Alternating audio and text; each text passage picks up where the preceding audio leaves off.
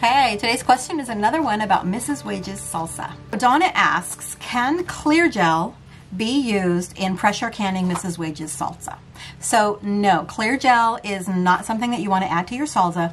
If you're using a Mrs. Wages packet or a ball brand or whatever packet you have, everything should be included in there. You just need to follow the directions on there.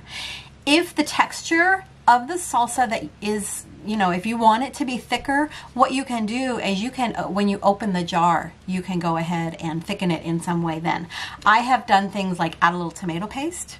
I've also just drained it a little bit, you know, just kind of hold, put it in a sieve or, or hold the lid just off the center to drain off some of the liquid, just to make it a little chunkier. I've also added dried tomato powder.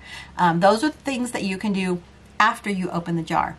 But clear Jel is not something that you want to add to your jar. I've got a link below because um, a lot of people get clear Jel, Sure Jel, and pectin kind of mixed up. Um, they're all thickeners, but it's nothing that you want to use in your salsa. What? Click the link below and you can learn more about when you should use those other thickeners. But Mrs. Wage's salsa is good to go. Um, just follow directions on the package.